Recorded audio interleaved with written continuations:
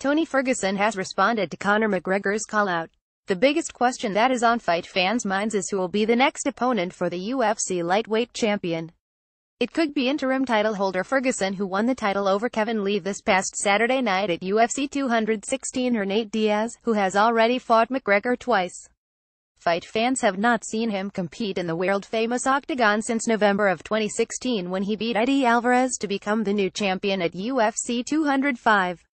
McGregor has proven over and over that he is the biggest star MMA that has ever been seen.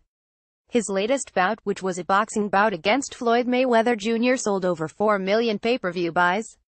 Although he lost the bout by TKO in the 10th round article continues below it's well known by now that McGregor broke his silence on the interim title holder when he tweeted a picture Friday casting himself as Tony Montana from Scarface, using the style of the Grand Theft Auto video game, with the simple caption Tony.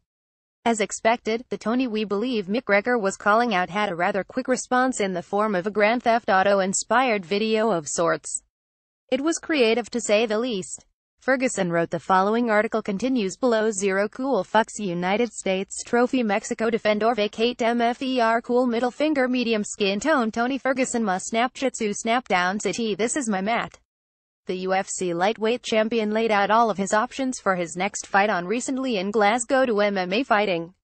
I'm sitting on a loss in my mind, so I'm just seeing what options are there, McGregor told Caroline Pearce at an evening with Conor McGregor at Glasgow's SEC Armadillo venue. An option there's an interim belt on the line right now, that's an option, McGregor said. Of course, the Nate Diaz trilogy fight is there. Maybe one of these boxing guys, maybe Malignaggi would come over and do an MMA bout, or Floyd, maybe I could entice Floyd back. We could either do a rematch in boxing or like he said originally, well do an MMA fight next. They are the options that are on the table for me right now. I'm happy they're fighting. This is what I wanted because they're all bums at the end of the day make no mistake about that. I'm just happy they're fighting. I just want to see them compete, declared McGregor. Too many of them pull out right at the wire, and we're still not at this fight yet, so I'm just going to pray that this one goes ahead. Of course, Nate is still there waiting, but he'll be left waiting until we figure something out. He noted I'm just going to put a few options out there and see what bounces back. It's got to excite me, let me see what these two fools do this weekend. We'll see what the energy is like.